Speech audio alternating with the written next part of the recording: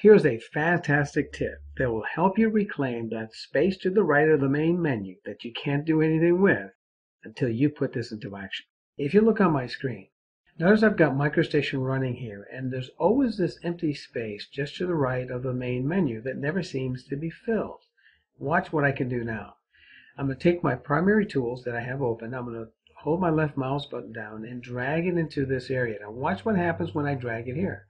See how I can dock it right beside the main menu. And now when I dock my attributes right in there, notice how it's going to come all the way down to the bottom. So here's a simple tip on how you can reclaim this lost area that otherwise would stay empty while you're starting to dock your tools along the edges. You're going to come up here to Workspace and come to Configuration. Now to make it very simple, I'm going to click on All by Level. And for you, you're not going to have this because you haven't uh, assigned this yet.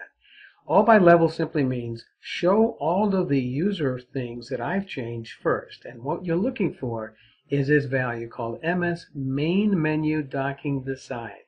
Now typically you're going to click on the all alphabetical and you're going to slide until you actually find this. So to make it easy, I'm just going to go back to all by level I'm going to select this and now I'm going to select edit. By clicking on the edit button, I can now change a value. If you make this value anything other than zero and you save it, like right now it's one, it doesn't matter if you type in two or three. If you save it, I'm just going to cancel because it's already saved, then you press the OK. Now you have the ability to dock along the right side of the main menu. Keep in mind that once you make the change and you save it, Simply close MicroStation and restart it so that way that value can now be used.